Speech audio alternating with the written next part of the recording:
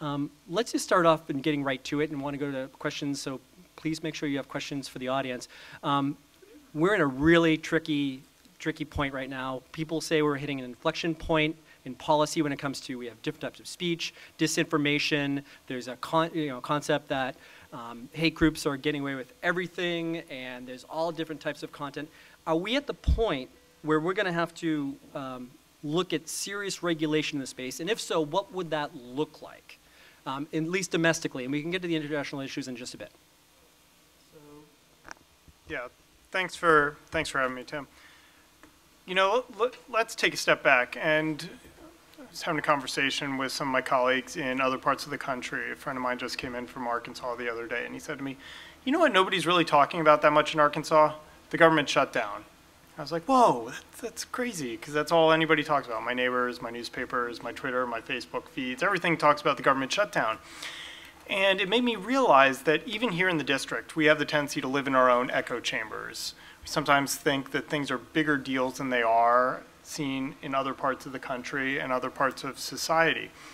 So, you know, you were talking about hate speech and moderating content, and uh, the premise of this panel is, you know, what do we do when everybody's stuck in their own echo chambers type scenario? And I think one of the important things that we need to do is take a moment and recognize that we ourselves are stuck in our own self-created, inside the beltway echo chamber.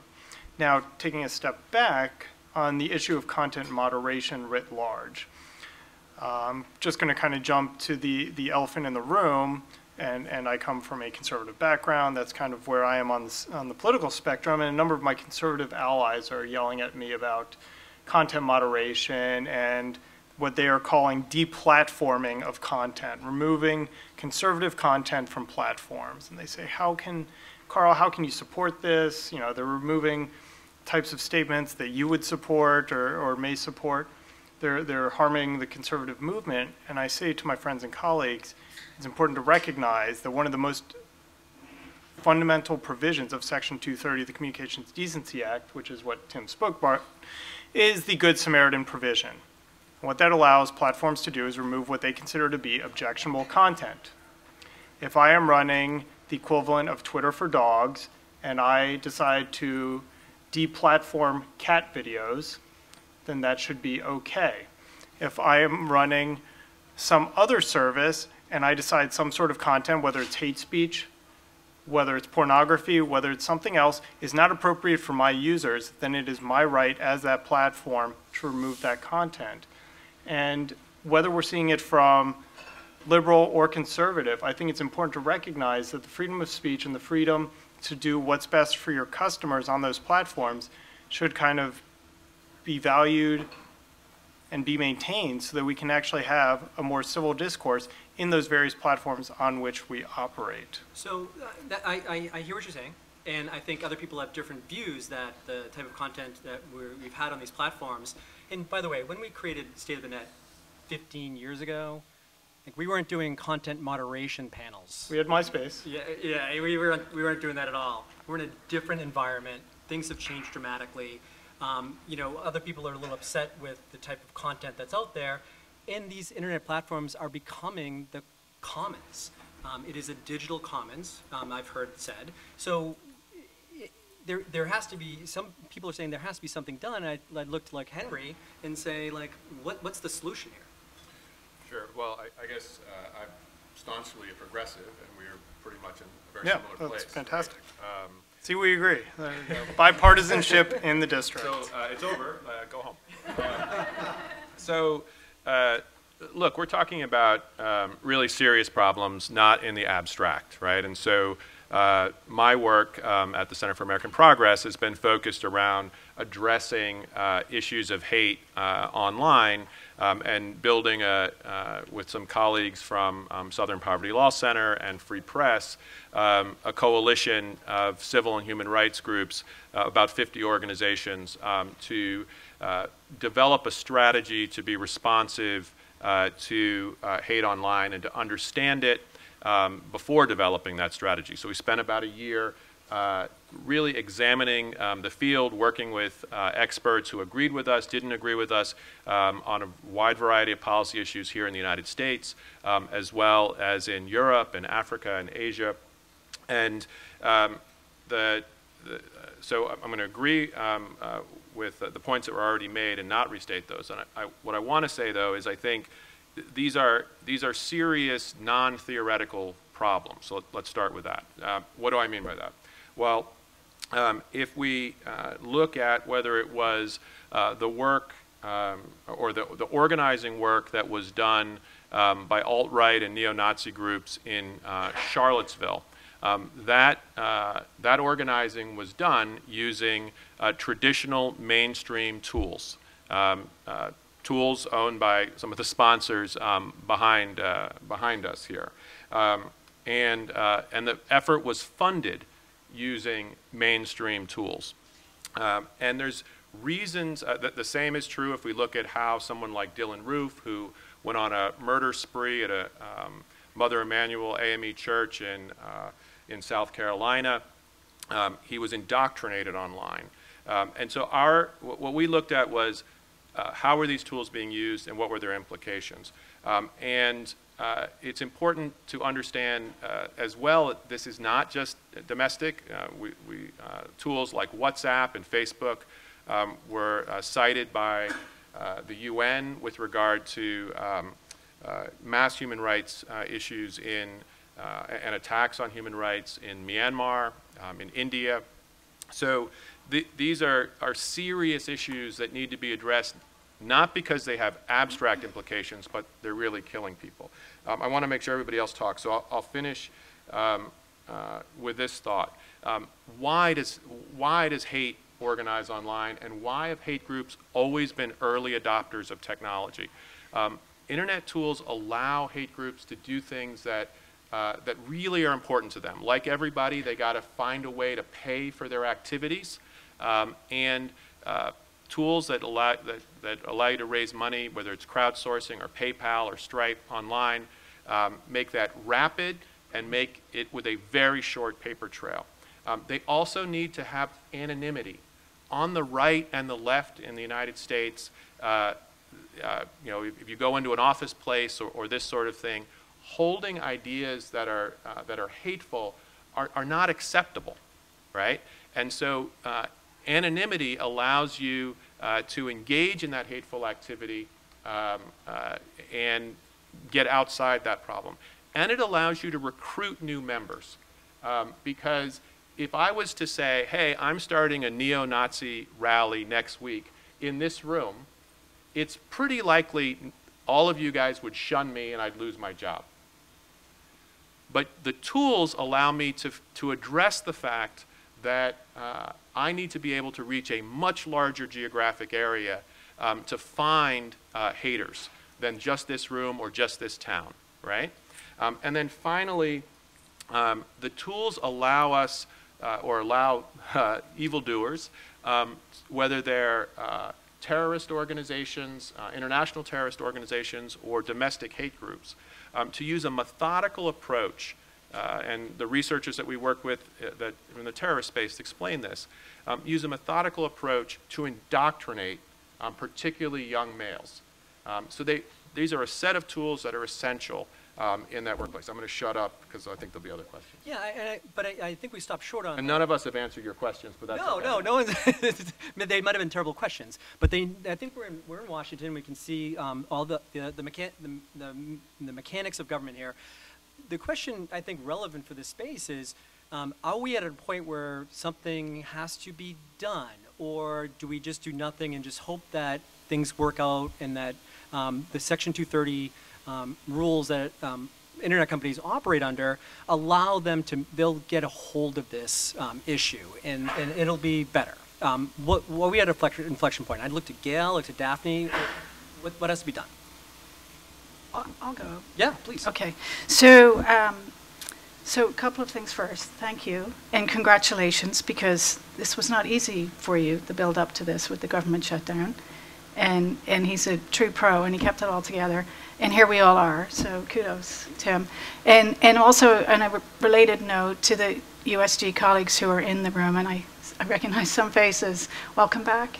We missed you. I was rattling around EOB on my own practically for a few weeks there. Um, and and uh, so I'm, I greatly miss the interagency colleagues, but we're back now. Um, so uh, one of the colleagues who was rattling around EOB with me was uh, Matt Lira, and he has this great expression. Um, I'm going to go a bit meta here, so um, so if you'll indulge me. Um, so let's go back to mid 1990s, as Tim alluded to. Um, yeah. So as Tim alluded to, we had know we had a couple of big decisions made uh, back in the day, and, and and they all led up to this sort of construct that is known as internet regulation. Maybe regulation's not the right word, um, but we had coming out of the administration the 1997 blueprint, um, which essentially said, um, you know, that let the market figure most of this out, okay? And and it was built on the premise that this would be a marketplace of ideas, but also a marketplace defined by robust competition, low entry barriers, and so on. Um, so that's kind of thing number one.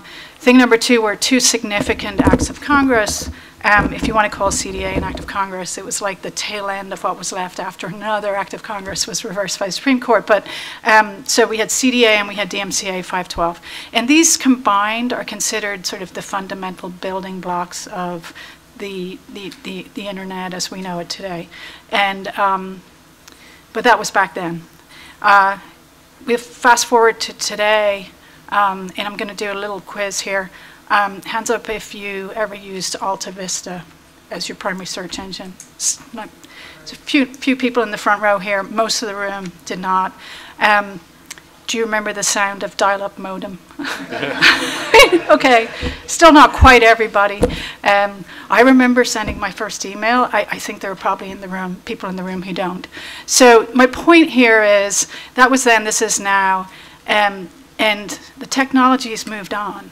Um, at the moment in time when this construct was put in place, we didn't have social media. Um, Mark Zuckerberg was maybe 15, um, and and things have changed in the marketplace since then. And some of these assumptions have been tested, and so on. Um, and, and I say that at sort of a meta level because I think it feeds into the discussion today. And so, to Tim's question, I'm going to try and answer your question, Tim. Are we at an inflection point? Um, I, I, I don't, I'm not here to be prescriptive.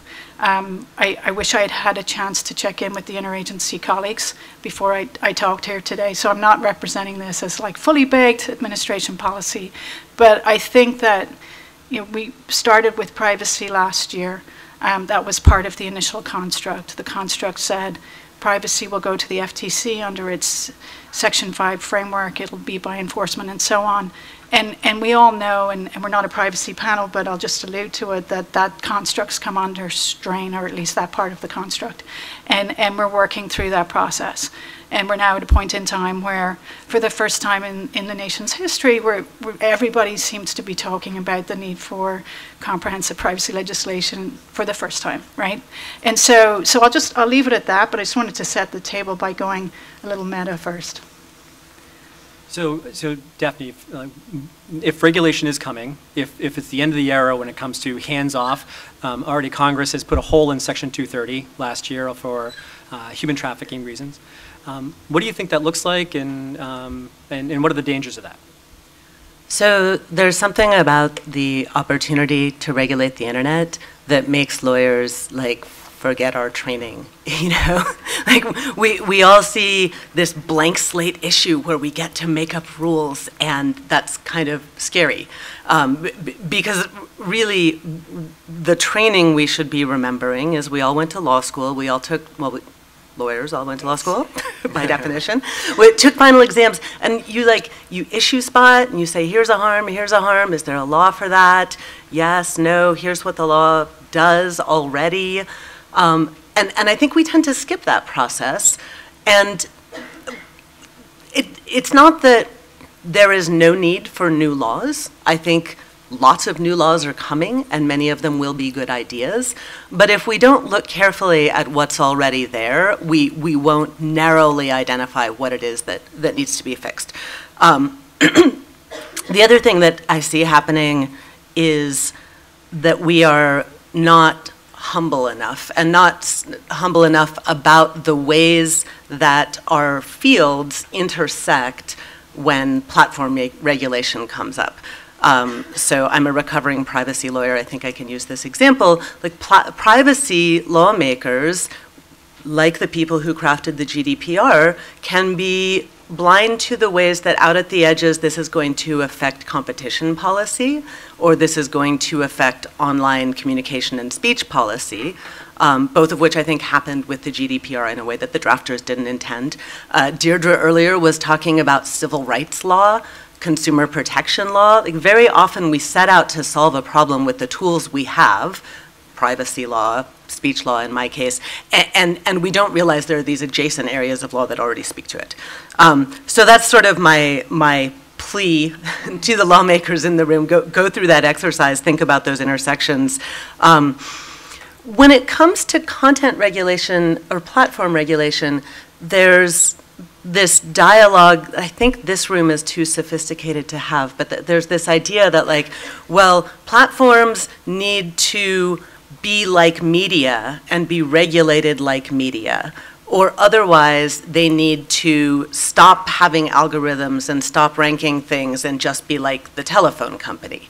And I think both of those ideas get you pretty quickly to someplace that I, I don't think anybody wants to be you know, if, if Twitter or Facebook worked like broadcast or newspapers, none of us could post anything until after their lawyers vetted it, right? Like the, the whole function of these platforms as mediums for massive communication from individuals to other individuals and people sending baby pictures to families or you know posting their political opinions all of that goes away if platforms are like old media at the other end if platforms are like the telephone company and they're completely hands off and they don't rank anything, that's like the internet in 1993. That's like before Alta Vista. You know, you, you can't find things. There aren't recommendations. If there, there's content and you can get it if you already know about it, uh, but otherwise you're out of luck. So I, I don't think anybody really wants either of those things.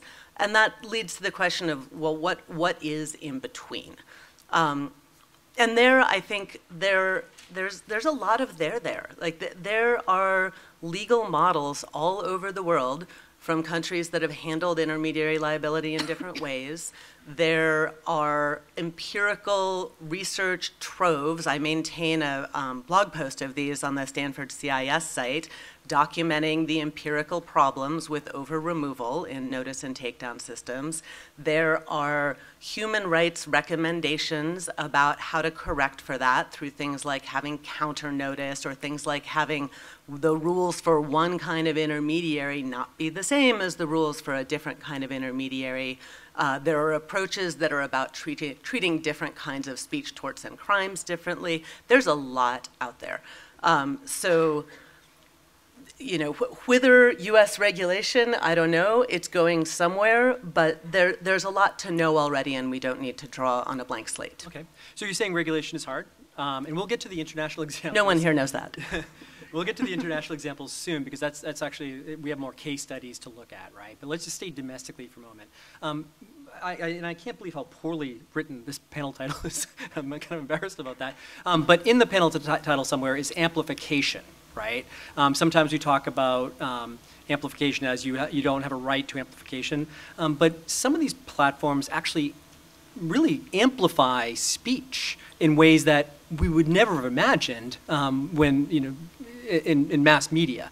Um, now anybody can have their speech amplified using a variety of different tools, whether it be advertising or um, uh, different types of bots.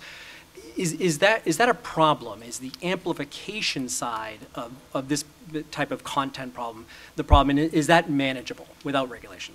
Uh, Tim, uh, You can use this one. Oh, thanks. So going back to your, your prior supposition and then answering this question, you said, you know, we need to do something. That assumes that we're not doing anything now, which, I mean, to go back to your point about you had a whole day symposium on content moderation, and it gets into the issues that, that Henry was raising on taking down offensive and objectionable speech. And just earlier, when I started, I was talking about removing what platforms find as objectionable or hate speech or stuff that their users don't want. So the assumption that we need to do something, but let's recognize we are doing something now, and let's let's take that in, into effect. Now, getting to the next issue before us, which uh, sorry, I blanked on the question as I was making my point, which was. Thank you. Amplification, yes. Um, you know, one of the things that keeps being used is the phrase tool, right? The internet's a tool. Let's let's take a moment and think about that. S- Email is great so that I can communicate with Daphne. But email can also become abusive. I can use it to spam people. So what did we do? We passed a law called the Can Spam Act, right? So as a tool, we need to kind of take a step back and recognize that it can be used either way. And, you know, as we go forward, we do need to recognize that when it comes to amplification, there are great uses of amplification, right? Let's use the, the breakout hit for Twitter, right? The picture of the miracle on the Hudson, right? That was amplification. That was where somebody took a picture, posted it to Twitter, and that message went, at the time it wasn't used viral, but it went viral at the time. That's amplification of a great, amazing story. Now, amplification likewise can be used in a negative way.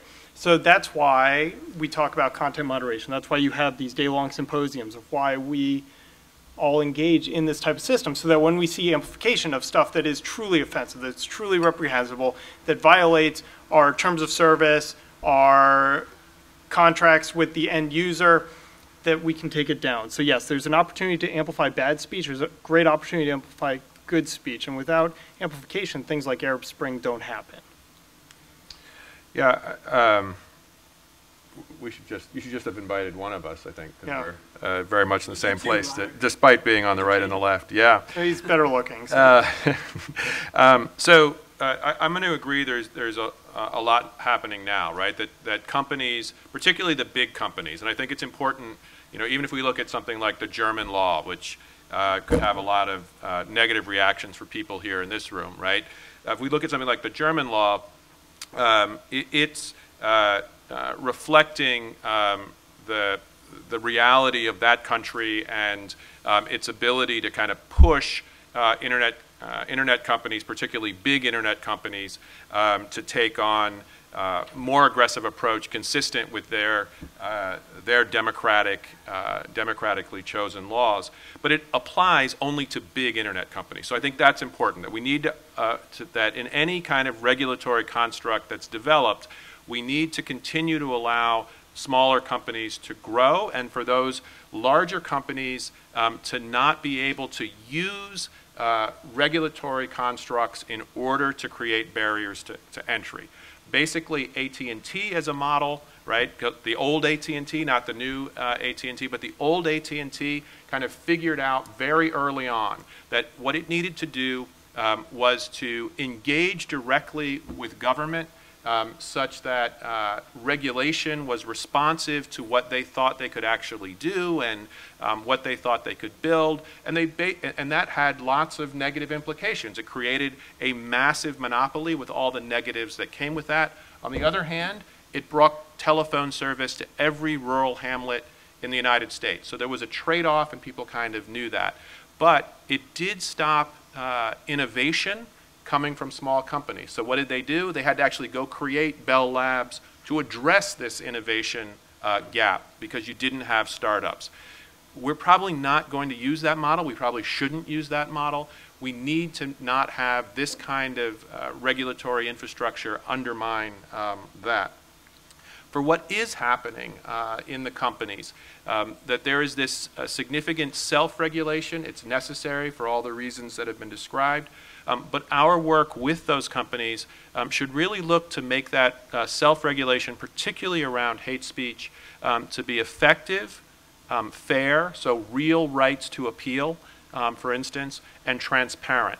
Because a part of the problem that we all have is that we don't actually know enough to make uh, good, strong recommendations because we don't have enough data that's available to help us make those uh, determinations. So we might actually agree on quite a bit, but we're kind of uh, operating uh, in the dark in an abstract. Um, with, regard, finally, to amplification, um, that's what that, and this idea of um, we don't want to use old tools um, and, and new tools. Look, um, there are certain things we don't want amplified.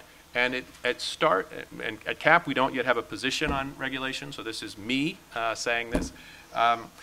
We can probably start with low-hanging fruit. Those things that on older technologies we believed were wrong and illegal um, shouldn't be legal on new technologies. An example of this, you shouldn't be able to limit who can buy your house to white people just because you're using Facebook, right? That if you couldn't put an ad out that said, you, uh, this house will only be rented to white people, um, or only sold to white people, uh, in a newspaper, you shouldn't be able to do that just because you're using a new tool.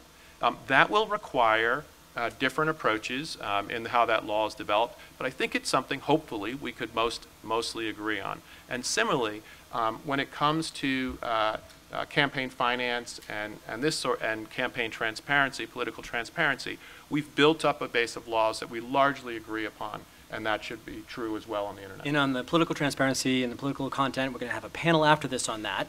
Um, it- Henry jumped to the international thing, which I really want to get to. But before we do, um, I want to get some feedback from Gail and from Daphne. Um, Gail specifically, if you could go back in your previous job, um, you spent a lot of time working on um, the human trafficking provision um, of, of FOSTA and SESTA, and you know, you were up on the Hill working that issue. Um, there seems that, you know, Congress invented or created Section 230. They, they created it, but they don't seem to cherish it like a baby. I, there doesn't seem to be a lot of members on, up on the Hill, except for Senator Wyden, that said, this is my baby, I want to protect it. Do you think that there's a lot of, um, uh, do you sense that there's like a, a lot up on the Hill, people are willing to chip away and blow a few more holes in Section 230? And, you know, what do you think about that? So, um, so I did indeed work on SESTA. Um, the backstory there, I, I was I wasn't a registered lobbyist, but I did have the deep personal joy of testifying against the legislation. I saw it. It was ugly. with, like four days' notice. Um, that's a very long story, and not for this panel. But um, so, um, but no, I, I look the yes, Ron Wyden, God bless him, and and I think there was one other, maybe was it Rand Paul? It was like 97 to 2 in the end. So it wasn't even close, right? Um, and I think there's a couple of explanations there, um, and I'll give some unsolicited advice to industry friends here. Um, so so par- a partial explanation of that was, as, as I sat there, um, you know, we think about the equities on the table in that hearing room that day, and, and this was how I kind of stacked them up, I will say, and, and, and before I, I, I went live and testified, um, you had not insignificant equities. You had speech, very important. You had innovation. Let's be honest, you had some money on the table. Um, in that case, you also had ch- children, dead children in many cases. And, and so to, to me, if you're a lawmaker, if you're, if you're a senator from, from any part of the country, some, those equities aren't close, right? And so on those edge cases, that's, that's what I saw going on in lawmakers' minds that day. So that's, that's SESTA. Um, it's a spectrum, right? And so there are these, these cases where it's very, very clear, and then we can move on down the spectrum. And then we can have an interesting conversation about the sort of the, the fact that these are dual purpose technologies and they can be forces for good. Sometimes they can be used to amplify the wrong thing. Um, but on the other end of the spectrum, it's, it's, it didn't seem to me like it was close. Um, and the other thing I would say, point number two on, on that experience is, um, it's, you know, it's a, pr- a process point, which is, um, you know, there was a moment in time where the, the Senate had, had done an investigation, a quite extensive investigation of Backpage. It, it closed the investigation. I think it had subpoenaed about a million pages of documents. It wrote up a very, I thought, well-written report um, that, that evidenced back, Backpage's conduct. Um, and then this, the senators who were behind the report and the investigation called Backpage executives um, to a hearing, and they didn't show, right? And so think about all the process fouls that went into that, right? And this is, this is about Backpage.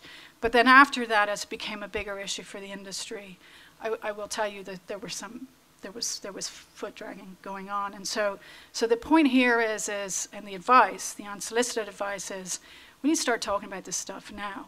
And and let's start talking about it before the next God forbid terrorist attack where this becomes an issue, um, emotions become inflamed.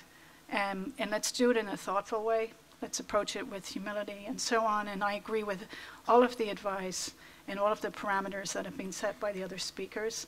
They know what they're talking about. Um, in, on First Amendment issues, they're, they're way ahead of me. Um, but I, I did have that personal experience, and so sort of um, being in the room where it happened, that's my, my feedback and advice. So there, there is will, given the right set of circumstances, to put additional holes into Section 230, which would perhaps regulate See- content. See, maybe if the engagement's different, you don't get there. I think in part what drove the, the outcome in SESTA was what I, I described, what I saw. Yeah? So, so Daphne, if they, if, let's say we do get there, and, you know, there is regulation, how, how fine a line do you think that Congress or other agencies can draw on this issue? Um, do you think that regulation is feasible, eh, or, or why wouldn't it be? Well, one reason it might not be is because of the First Amendment, right? Like we we we know from pre um, pre-internet cases, like cases about bookstores, for example, that there's a limit to how much liability you can put on an intermediary because of their natural incentive in response to over remove and to over enforce and to burden um, not their own speech rights, but the, the speech rights of the people who are trying to distribute books through them or, or access information through them. So, so we, we know there's a limit where if you screw up your intermediary liability laws badly enough, you, you are going to come up against the First Amendment. I, I actually think SESTA is on, is on that side of the line. Um, but you know, to go back to, you know, can you do a better job? That's this laundry list that I was talking about before of, of ways that experts in other countries, human rights officials have, have approached this that have a lot more, you know, fine-grained differential treatment for different things. Okay, seeing as um, Henry pulled the trigger on the international component, and while I still have your attention, um, I, I think one of the questions that I have is um, other countries don't have the First Amendment. And as far as branches of government goes, there seems to be will in Congress. The Su- Supreme Court seems to be super First Amendment friendly these days and getting more First Amendment friendly. Um, so maybe let's go into the, uh, the international realm.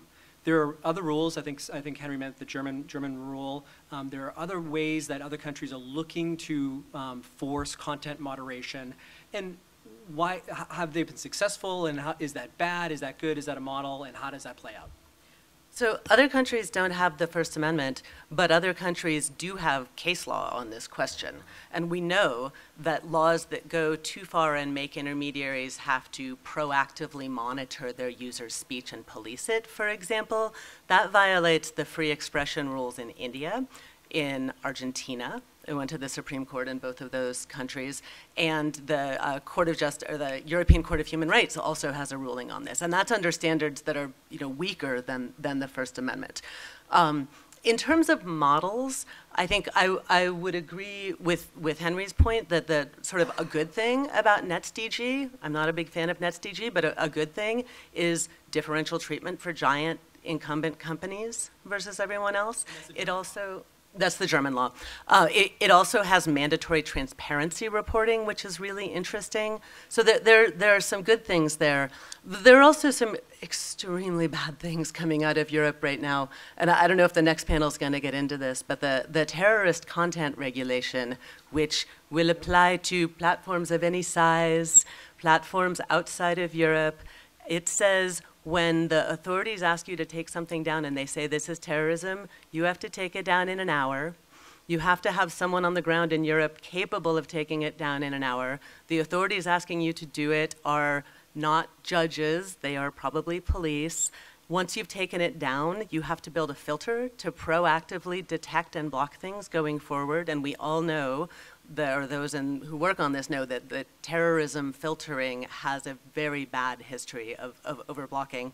and you have an ongoing reporting relationship with local authorities where once a year you tell them how well your filters are working and they tell you if you need to do something else. So, you know, everything on that list, I would say, bad idea for, for internet laws.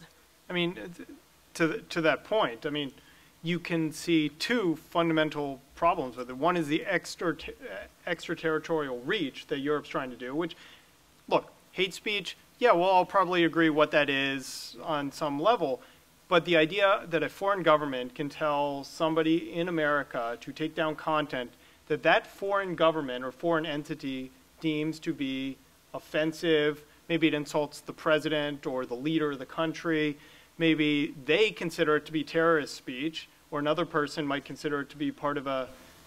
I'm going to go back to Arab Spring again. Uh, um, there are several other countries where this applies to more recently. So there is ample evidence and opportunity for abuse. On the issue of Section 230 writ large, I think one of the challenges we face in Congress, and it, it's terrifying for me to think about this, there are people up on the Hill who, who were not alive when Section 230 was signed into law. Uh, not legislators, but some of their staff. And Section 230 is just one of those things that we all take for granted. And it's one of those things that if it were gone, you would truly miss it. And we've all talked about Facebook and Twitter and Google and the big people here, and, and to point Daphne's point internationally. But I was talking to a colleague of mine earlier today, and I was mentioning how it would impact Eventbrite. It made Eventbrite possible. And she's like, Eventbrite? Why, why do they care about Section 230? I said, well, if I hosted a rager at my house and I put up the ad on Eventbrite, and let's say somebody burned down my house, then or got hurt or tripped over a lamp, they could hold Eventbrite uh, partially responsible for the promotion of such a dangerous event. Section 230 gives you a what's called a 12b6 motion to dismiss, kick that out. Uh, likewise, care.com, if all the parents in the room, like me, you know, imagine having a babysitter over. Do you think that a platform should be liable for everything that happens possibly on that platform? Now, care.com does a great job, but the liability is there. Medium's another example that I like to think of. They're facing lawsuits from people who read articles about ways to make it rich on Bitcoin, go out, buy a bunch of Bitcoin, lose a bunch of money, and then actually go and sue Medium for posting the article. So there are all these things on the internet, online, that we take for granted that you don't see coming internationally because they don't have these types of protections. And the idea of just kind of, we'll, we'll uh, you know, Swiss cheese Section 230 where we see fit, I think gets away from a point that Daphne brought up earlier, which is if you see a harm, let's address it. Section 230 does not protect federal criminal law. If you engage in federal criminal law, that is not covered by Section 230. So to the extent that there are horrible things happening, let's address them in the criminal code and not Swiss cheese away what makes the internet great here in America and likewise internationally. So rather than me being devil's advocate the entire time, maybe Henry, can we, can you can you say, well, Can you be devil's the, advocate? the, the future ex, the, be, be a devil. Um, you know, the future externalities that you know, Carl is like, you know, we'll miss it when it's gone. Um, but are people like right now? People are like, a lot of people are saying this kind of sucks. And um, so, what what is being done right now, and what sh- maybe more should be done, um, going in that direction? Are we, are, are, absent some type of regulation, are we are we going to get there? Yeah, so um, a, a couple of thoughts on this. One is, um, I mean, to, to your point, Carl, that the, uh, the crim- using the criminal code, right? I mean, I think, um, or the, the examples I used earlier of anti-discrimination law as it relates to housing or campaign finance law. These laws, we, we built them up, and they and uh, there's expertise built around them um, for a reason, uh, because they represent what we believe is important to have a functioning uh, egalitarian democracy, right? And um, and it was also important to help build the internet.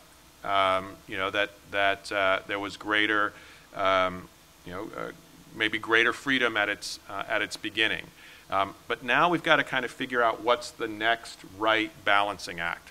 So if we use the, um, the German law as an example, what the German law does is, and again, I'm, I'm not advocating for the German law, but what the German law does is it takes a series of things that are criminal, that were already criminal, in Germany and brings those to the internet, uh, and there's good reasons to say why it works or why it doesn't work, but it takes existing criminal law and it brings it to the internet and says, as an internet uh, provider, a large internet provider, uh, not, I'm sorry, it's the wrong term, as a large social media uh, provider, um, you may not facilitate what would be criminal off the net, right?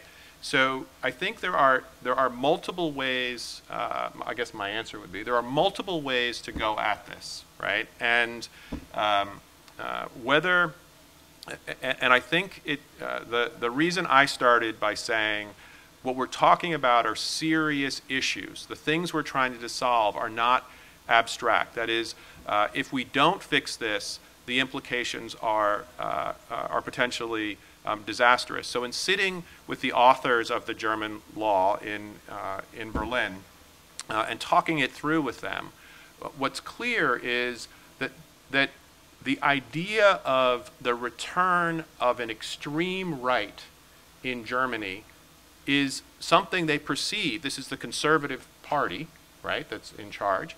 It's something that they perceive as a, a, uh, uh a systemic threat to the ability for people to survive in a European democratic context. And they have history on their side on that, right? Like, it is a criminal act to, to, to declare that you're a Nazi uh, in Germany. It's a criminal act in Germany now to declare you're a Nazi online. It was always, uh, you know, criminal to do so in a bar. Now it's illegal online as well. Um, but the, the issue is now they're requiring that the internet companies do this. So I guess I'm, I'm, I'm kind of fall somewhere in the middle. There's a lot of work that needs to be done.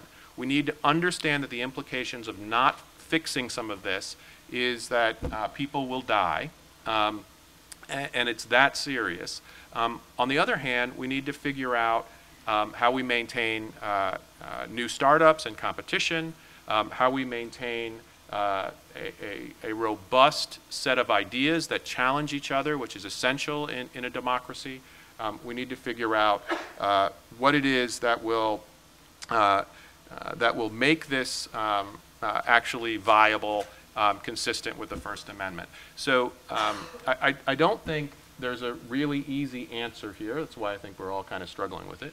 Um, but I do, I think we would probably um, at least the two of us, I think, would agree on this, that um, fundamentally, we don't have access to enough information to figure out what works.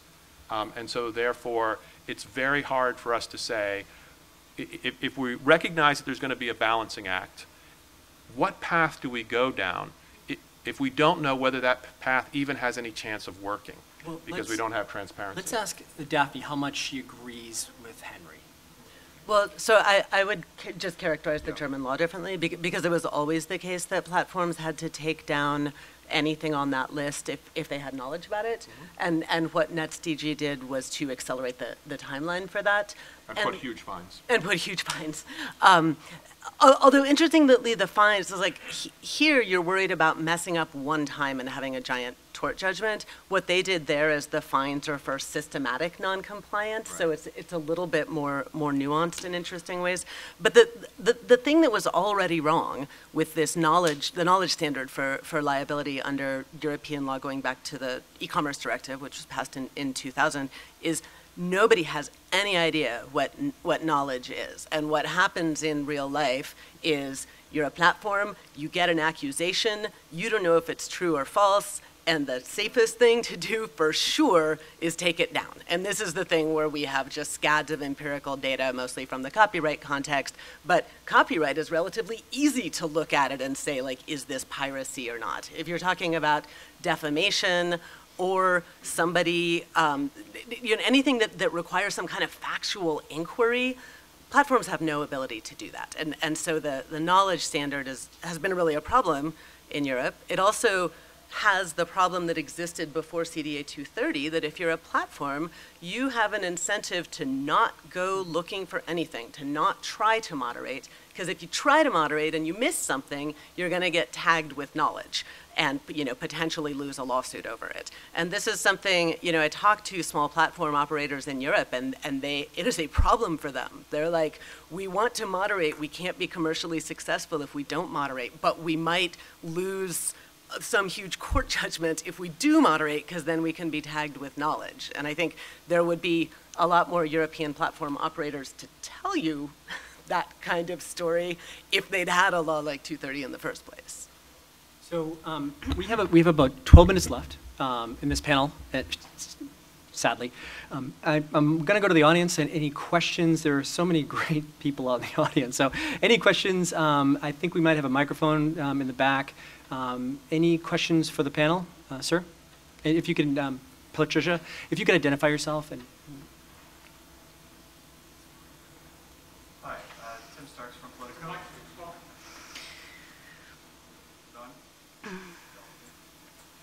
Now? Can you hear me now? It's green. You Okay. can use mine. Tim, you can. You can Come Yeah, do you here. want to just, Sure, why not? Yeah, I was about, I was gonna bend over and be like, oh. Price is right, yeah. Tim be Starks from The Price is Right, uh, Politico, actually. Um, uh, my question is related, it's related to this subject. Um, y- you talked about terrorism and content and, and how emotion can affect some of those subjects. The question specifically for Abigail. Um, are there any conversations going on with tech companies or um, Congress on encryption right now? And if so, what direction is the administration leaning? If there are, I'm not involved in them.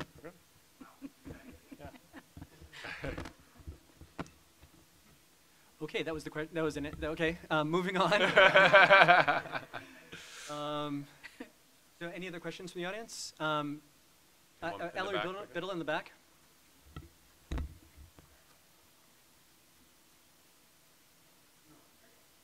Hi, my name is Ellery. I work with Global Voices. Um, anybody, Facebook is has is, has this new plan that they just dropped to build. I know they don't want to call it a Supreme Court, but whatever the council thing that is going to without independent experts who are going to deliberate on different types of content and whether it should stay on the platform or not. What do you think? Yeah, there's, I- I- there's several proposals. There's a, a Supreme Court. Um, there was a blog written recently from someone who's worked for me called "They should have a content Congress." Um, what do you think about those proposals? So, so I was uh, invited, I guess, a couple days ago to participate in that. Uh, so I'm glad you described it because I was trying to figure out exactly what it was. So, um, you know, I, I think one of the issue, one of the reasons we wrote the policies that we wrote, uh, which is only going to partially answer your question, um, was because we thought it was important that civil and human rights organizations uh, begin to have this conversation on our terms and not only be responsive to mechanisms that um, large companies set up in order to engage um, on these issues. And so um, I think whenever these kinds of opportunities present themselves, I mean, there's also Facebook's audit, civil rights audit, for example. Um, I think it's always a challenge for us um, whether or not we should participate, frankly, um, because uh, as opposed to um, saying these are the rules uh, that we think are essential. This is what we've built up as knowledge over uh, a hundred years uh, as organizations in this country, um, and some of our member, you know, organizations go back that far, right? So, um, and so we want you to be responsive to this um, as an organizing principle. Um, is uh, and probably there's somewhere in the middle, like participate. Um, so I guess I, I, I don't have an answer. Is it the right thing? Is it the right approach? I do think that, um, look, these particularly when you talk about um, Google and, and Facebook, right? Um, they have a significant amount of resources. They've invested that in fully engaging with um, the American political right and left um, in order to be able to uh, influ- uh, influence and um, uh, influence us as lobbyists do, not just in this industry, but in others, but influence us and influence the ways in which we engage with these issues. Um, even before there was any conversation about, a significant conversation about regulation. Um, and so I think it's always a balancing act as well. To what extent should we participate in those things in order to, uh, you know, because are we being uh, pulled into a set of um, ways of thinking about the issues um, which are um, least likely to, to result in the outcomes that we'd like to see? I think everybody wants to weigh in on this question, but Gail also, Gail has some like really interesting facial expressions um, that, that if you're. I have a terrible poker face. So um, I'll do a, a gentle rebuttal about some of the assumptions that you're making about sort of who influences who.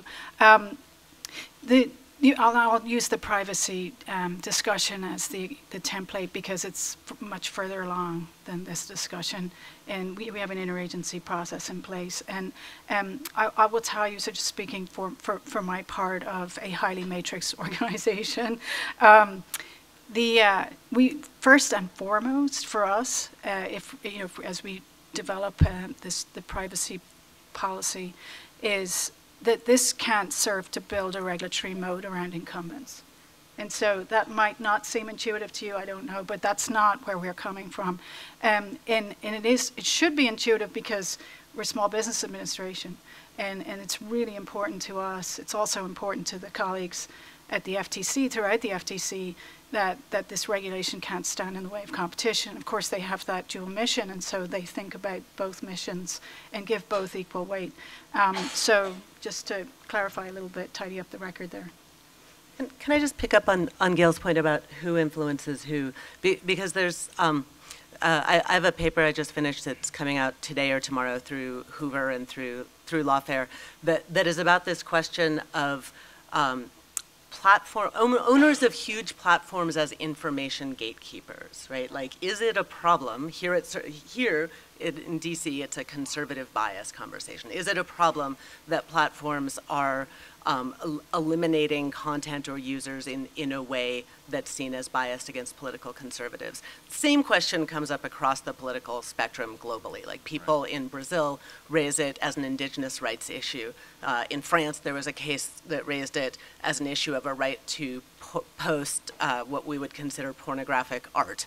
Um, you know, every, everybody wants to say, hey, these gatekeepers are so powerful and, and they are running something like an essential facility. It's so big, I have a right to be on it. Um, that's a really important question. I dive very deep on the law of that in, in the paper if you're looking for that. But on the other side of that, there's an issue of platforms exercising their discretion in a way that's actually a vector for other power that influences them, and most significantly, a, a, vector for state power, for, for the power of governments. And we see it happening most conspicuously in Europe, but it's sort of, there's this conjoined set of issues about platform power and about government power that we are not looking at together, and the failure to look at the two of them together is leaving us in a situation where it's very, very hard to define what users' rights are, speech rights, in, in any situation. So I think this sort of who is influencing who is a really good way to put the question, and we, we need to look at the big picture. Yeah, just on that quickly, and, and so, I mean, we're very cognizant of that in developing our policies because particularly when we looked at communities of color um, and the criminal justice system, and the ability for, for, say, a sheriff's department or a police department to influence a platform um, about what got taken down, that sort of thing, was uh, was something we, we simply felt like was a serious. Uh, I mean, most of our organizations had actually represented uh, activists in this space um, and with these kinds of concerns. So I, I, I, think this is a really, in some other venue, a, a really important conversation that we need to figure out, not just at the uh, federal level, but particularly at the local level where most people interact with government. I'm going to ask Carl to forbear on this, this question, if that's okay, and get to like the lightning round of questions. And answers like um, Gail gave, or the, la- the, the question no, before last, like yes, no, maybe, possibly, uh, lightning round. I think there's a question with Alex here and the gentleman in the front row, and, uh, and we'll try to get to Rick in the back. Lightning round, because we only have a few minutes left. Patricia? Oh,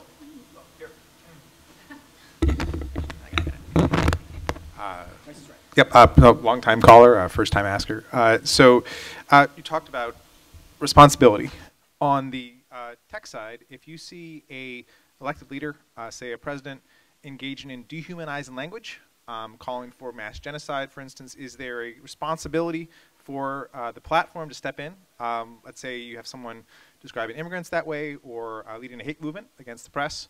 Um, on the other side, um, if a government becomes aware that a platform is being used for genocide, uh, say Myanmar or something like that in the future, is there a responsibility for the government to step in and intercede?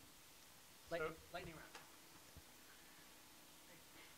It, it will be, it will depend on what the platform decides is best for its users. If it wants to remove that content because it finds it objectionable, Section 230 lets them do that. If they want to leave it up because they recognize it's a human atrocity that the government's trying to take down, Section 230 lets them do that as well as our First Amendment. Okay, other answers. I mean, some of this sounds like it could be criminal and fall within a loophole to 230 for, for federal crimes. It's going to be super different in different countries. As I think I understand your question, yes. All right. And, and get, and you want to, want to go on, next question? Yeah. Okay, next, okay, Rick. Rick. Gail's not doing the hypothetical. Real, you don't have to provide a lot of context, just get to the Yeah, question. um, I worked uh, on the FOSTA SESTA legislation organizing, and I feel your pain of what you had to go through. It was tough. Um, Very quickly, there's a lot of discussion on revising Section 230, not getting rid of it as some would like to articulate, but having some type of modifications to it. Um, The concern, the groups that I work with, the anti-human trafficking groups, is that the treaty agreements have language, Section 230 language in it, that could hinder those conversations within the U.S. Congress um, and the administration. And I'm wondering if others share that concern. So, uh, so this is a reference to USMCA NAFTA 2.0, and there's a provision in there that looks awfully like 230, and that creates an obligation to adopt into domestic law something that looks like 230 to the extent it doesn't exist. Um, I, I, I'm going to have to punt on that simply because that's just not my wheelhouse. I- international trade is not my wheelhouse. Um, but I do know there, there, there are discussions. I know groups like yours have, have talked to the White House about this. Sorry. My, my sense was that m- m- my people greatly overclaimed victory on that one. Like, as I read the NAFTA language, it was full of wiggle room, and, I- and I c- don't really think that Canada and Mexico would have signed on without the wiggle room. So I'm, I'm, I'm not sure how much of a there there there is. And, and I see that argument as a total red herring. Uh, Rarely have we let stuff in trade agreements preclude discussions here domestically. Okay, that was a great lightning round. I am sorry we're running out of time, but hold on. So the next panel is going to be moderated by Liz Woolery from CDT. Um, she's amazing. She has a great panel, including Ellery, who spoke just a second ago, and it's, it's going to sharpen the pencil on this issue to look at political discourse. So the same issue, but just narrowing it down to political discourse. I want to thank this amazing panel, and thank all of you, and we'll see you right back. Thank you, Tim.